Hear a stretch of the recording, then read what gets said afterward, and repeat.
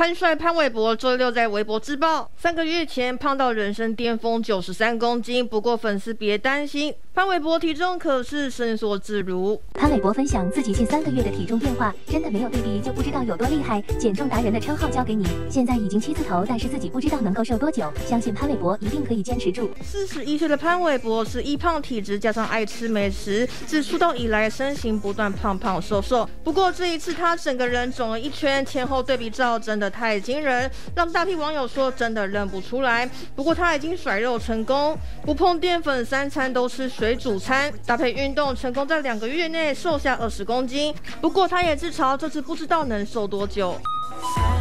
电话留下，不然内伤怎么办？相比之下，影帝吴康仁却是为了戏增肥，变成胖嘟嘟的感觉很不舒服，因为然后就希望我的脸看起来是肉肉的。那我吃了很多胖都胖在肚子，他死都不胖我的脸。为了电影我没有谈的那场恋爱，吴康仁在短短五十天内一口气增胖了二十公斤，惊人福态令人佩服。而为戏改变外形的还有他。I can handle the more mundane jobs.